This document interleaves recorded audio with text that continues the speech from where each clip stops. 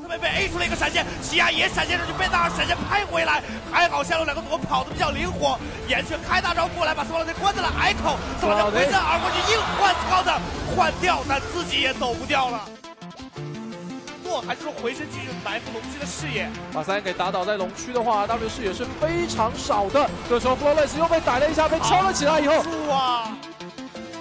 还是没掌握到信息，还是没信息，龙没了。没有没有没有没有，龙没了，龙没了。交一个 TP，为时已晚。牛牛被勾，回身给大招，牛回身二连了。i boy 是的大招给下来，i boy 这边又要被秒了。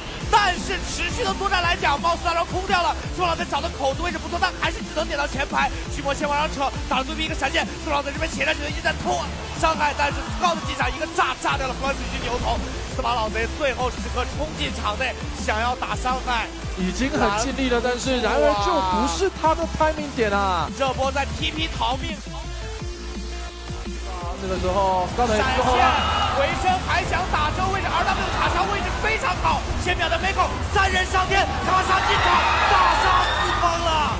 这一个卡莎很难被阻止，高腾勉勉强强再顶了一下，这个时候纳尔是选择上去卖自己，两边 ADC 已经中单的一个对决，但是有兄弟呀，奇亚上来焦虑了一下。的怒气量保持的勉勉强强，还可以跳进去。龙被岩泉抢到了，怎么回事？这一波抢到了龙，秒了。那么高头摧枯拉朽，这时候艾莫也赶到战场，残存的侠盗勇士的战士们没有办法扛住。